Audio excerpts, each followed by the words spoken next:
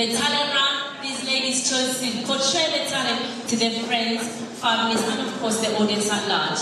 Whoever the judges feel did the best talent will be awarded the best talent 2016. For the talent round, officially opening the Miss Uganda UK 2016 finale, please welcome contestant number two.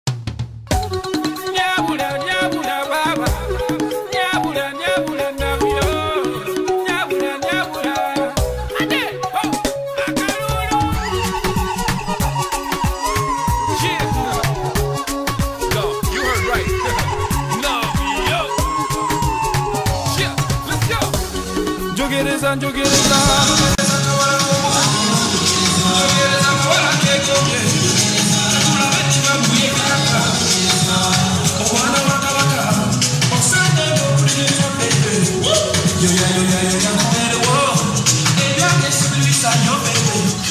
amanya bampita lubwama nva mu lujja lwa kigozi ndi muzukulu wa lubwama musiga lya nagaya Uh-huh. And fire.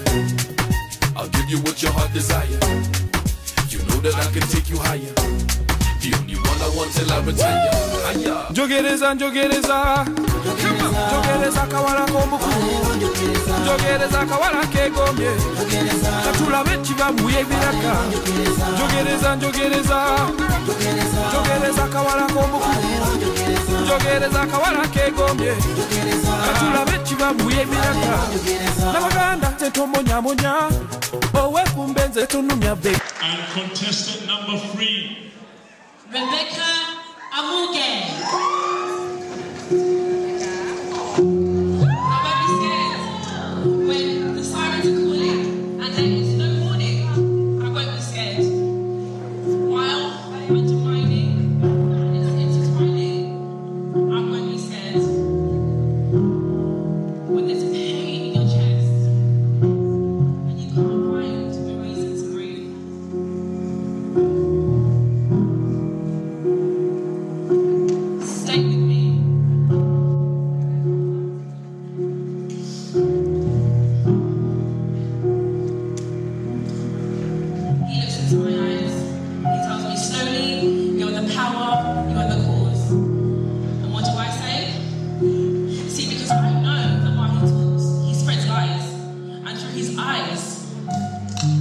Demons.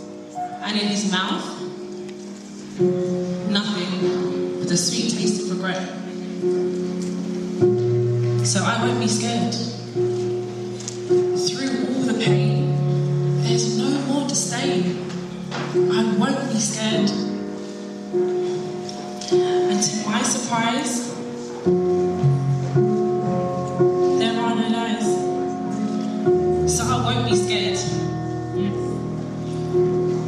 I'm free.